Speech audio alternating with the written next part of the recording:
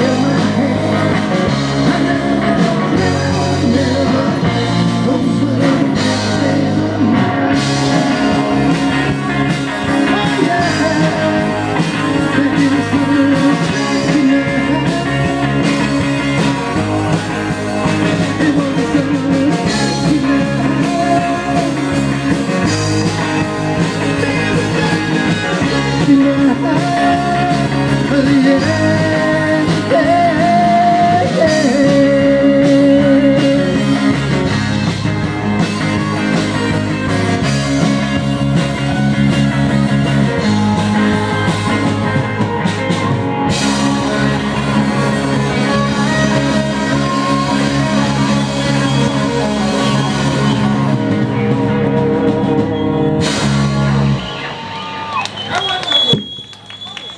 Now we're going to do number 70.